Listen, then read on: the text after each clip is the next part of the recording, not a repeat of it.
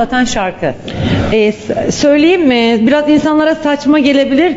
Ben her moralim bozukken Sagapo'nun şarkısını dinliyorum.